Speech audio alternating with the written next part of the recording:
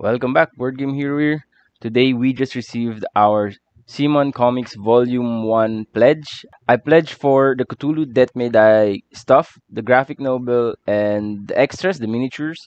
This is purely Cthulhu Death May Die extra, right? So don't expect anything.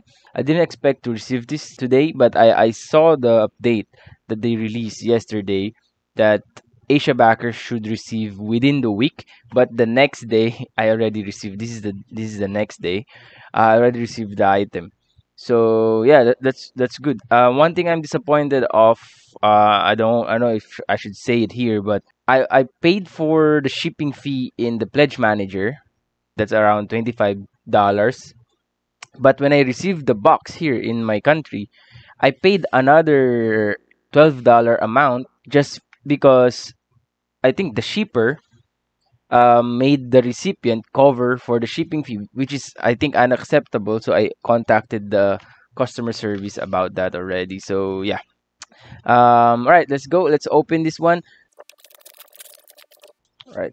So, ooh, comic book extras. Oh, I love this one. One, two, three. Four. We have six characters here.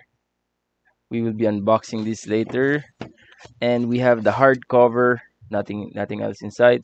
We have the hardcover graphic novel of Cthulhu Death May Die. That is beautiful. And it's very thick. Okay? Let's let's do a flip through. Why not right? Let's do a flip through. Ooh, nice. I like the cover here. Let's take a look at the back first. Um, we have some you know in introduction text here of the story. Fight or flight. Chapter 1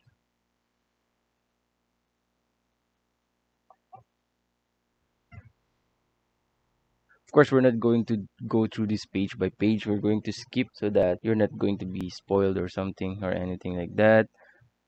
Um here I'm trying not to be um spoiled on on the content but spoiler alert I forgot I'm just gonna put spoiler alert before I open it just because. Alright so we have characters appearing in in the book. Uh, characters in the game like Morgan and Al Capone there. So it's gonna be interesting now let's open this one. Now this is very i'm very interested in this. The only reason i backed it i'm not really interested in the comics. Not really interested in the graphic novel but i'm interested in what the extras i'm getting for the game. Um, this is going to be the content of the product. We have some expert cultist cards here. Uh, by the way in the cthulhu death may die codex app uh, that I uploaded in Android and there's also a web app for this. I already updated the characters are there. We have also the expert cultists there that you can see and also in the Cthulhu Death May Die dashboard app. It's already updated so you can use the expert cultists there in your games. And um, yeah. So we have tokens here. This is for the detective. And then the painting for the painter, this one, this girl. Right, let's open it. Why not? Let's open and see the um, quality. I like the box also. Definitely keep it. So the lead is on top like that. There we go. Right well we have the character sheets here. We have Tamara. Let's open it. You know what? Um if you're backing CMON products and you're in Asia you're almost like 100% gonna be first to receive the item compared to the other countries because they ship from China directly. So yeah, I think that's that's a good thing if you are a backer. And we have Tamara here, her story at the back. We have Detective Alan, Inspector Alan, Alan Jenkins. His story at the back here. Uh, we have Jack, truck driver. Jack Munoz is from Mexico. We have Rocco, a French war, French war vet, veteran from Italy, Italian. We have Annabelle. I think that's it. He's Italian, not French. I'm sorry if I'm wrong. Uh, we have Annabelle here from New Orleans, Louisiana. And we have Lisa or Lisa. She has a Malacoda pet. This is Malacoda. So it, will be interesting to paint this girl. Take a look at the minis. Uh, sure, why not the tokens first? Uh, these are the tokens, very good quality. This is for Ins Alan Jenkins, Inspector Alan Jenkins. He uses his detective token. Come on, focus. There we go. He uses his detective token to do stuff like uh, it's if it's max level, he can do an extra action for that here. Uh, he gains detective token whenever he use um discover action or investigate action. If he investigate the area, he gains two token, and then he uses that to do stuff. He can reroll a die. He can rest even if he's unable to, and then lastly, he can take an extra action, which is a very big deal. We have six of those. That's also the limit he can he can gain. Um, all, now next is the painter. I forgot the name. Should be Tamara. Yeah, this one. So Tamara, um, whenever she rests, she can put a painting token on the space. Um, in their space to prevent an enemy attack. So other players can use this as well.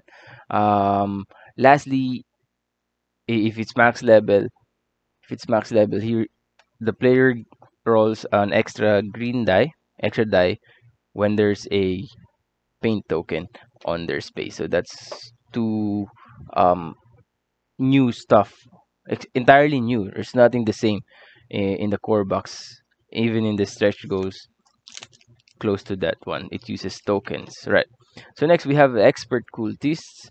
We have four of these. We have the zealous cultist. When it attacks, it heals one for each um, elder sign it rolls, and the die is two green die. Okay, and then the health is also different. It's now three health. Then we have um, mad cultist. When it attacks for each elder sign uh, that he rolls, it also counts as a success. Then the health is 2 and it rolls 1 green and 1 black die. Okay. Uh, pyro, pyro cultist, 2 health, 2 green die, and then when destroyed or when killed, each investigator up to 1 space rolls uh, 1 green die. Um, if they roll the elder sign, they gain 1 fire. So this cultist, when it, when it dies, it, ex it explodes. Um, we have reckless cultist, to help two green die for the attack. Um, the investigator must take one stress or one wound if they cannot take stress to attack these cultists unless they are at full stress and wounds, right? So yeah, this is a reckless cultist, like a violent berserker. All right, now off to the miniatures.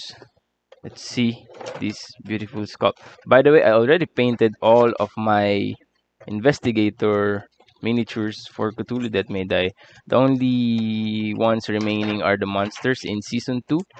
Um, but until then, I'm going to complete before I post it or, or whatever to highlight my paintings. But yeah, we just added six more to those list and it's gonna be interesting. Alright, this is Tamara. Tamara, I'm going to really put a lot of detail in this canvas to add a, a, a painting let's say painting in progress for her maybe I can copy this one but it's gonna be boring because it's just green stuff with tentacles. So I'm, I'm gonna think about it or just play around with this painting canvas. But yeah that's my plan.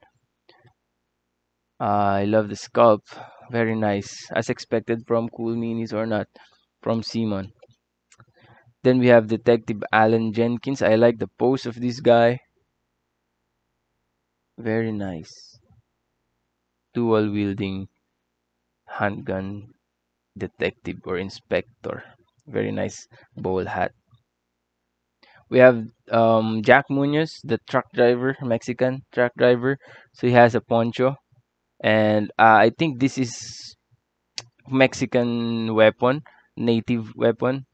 And also a sort of shotgun here so very interesting to paint i don't know what this is i think this is damage on the on the miniature but it's it's easy to cover with paint later on. I look at the details on the boots.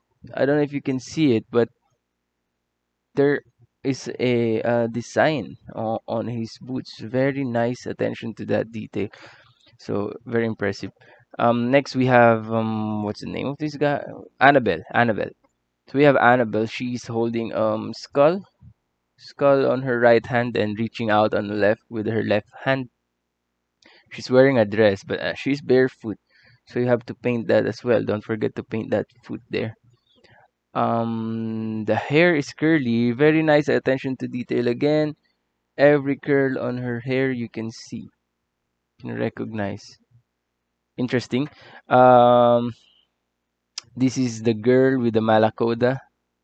Oh man, I just hope she was not hugging that um container because I want to paint the malacoda head on that container. But now it's going to be challenging because she's hugging it and is almost covering the entire container. So it's gonna be a challenge to paint the malacoda head inside this container, but I will try to do that. Um, yeah. So that is um Lisa or Lisa. I don't really know how to pronounce that name.